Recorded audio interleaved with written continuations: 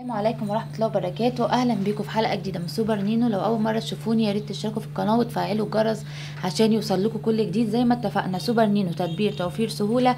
النهاردة جايبة لك وصفة سهلة أوي وسريعة. هما مش وصفة هما اتنين وانت اختاري الوصفة اللي انت حباها. الوصفات بتاعت النهاردة لتفتيح الكوع والركب والرقبة. في ناس كتير بتشتكي من السواد اللي بيبقى في الكوع والركب والرقبة. فالنهاردة الوصفتين اللي معايا يم... للبشرة الحساسة والبشرة الدهنية والبشرة المختلطة عندك وصفتين.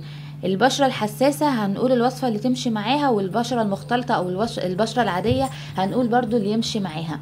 تابعي معايا الفيديو للآخر عشان تعرفي الوصفتين اللي هيفتحوا معاكي ومضمونين مية في المية.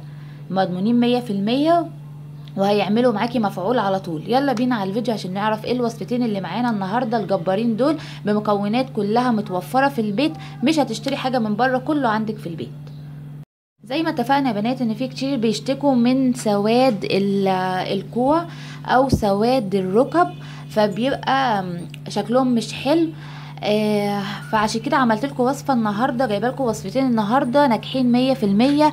هتعمليهم هيقضوا على السواد ده على طول.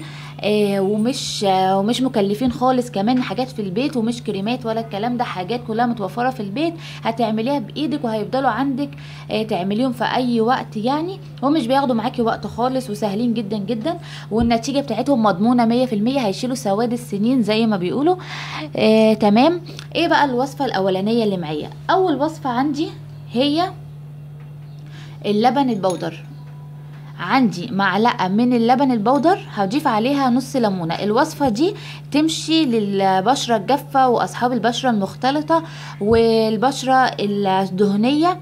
إنما البشرة الحساسة لو عندك حساسية من الليمون اعملي تجربة كده بسيطة. لو لقيتيها قبلت على بشرتك اعملي الوصفة مفيش مشكلة. لقيتي إن عندك حساسية من الليمون يبقى خليكي في الوصفة التانية.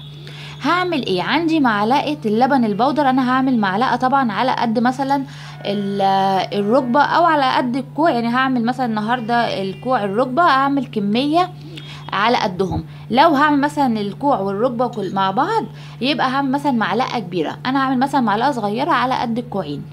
هتحطي معلقة صغيرة من اللبن البودر. البودر بيعمل تفتيح وبيشيل السواد اللبن البودر حلو قوي وفيه فيتامينات جامدة قوي للجسم وبيفيد قوي قوي وحلو قوي الوصفات بيبقى فيها لبن بودر تعرفي إن هي ناجحة مية في المية. هاخد معلقة من اللبن البودر هضيف عليها نص ليمونة. هيبقى معايا الخليط متجانس. هبدأ إن أنا أدلكه كده حركات دائرية على المكان اللي هو الكوع أو الركبة وأبدأ أدلك أدلك أدلك كده واسيبه شوية. وبعد كده أروح جايبة نص ليمونة تاني. بعد ما حطيت الخلطة خلاص أروح جايبة ما مسحتهاش وما عملتش أي حاجة. هجيب نص ليمونة تاني وأروح جاية أفضل أفرك كده في الكوع أو الركبة بالشكل ده كده. بعد أما حطيت الخلطة الأولانية قبل ما أمسحها أسيبها بس تنشف معايا شوية.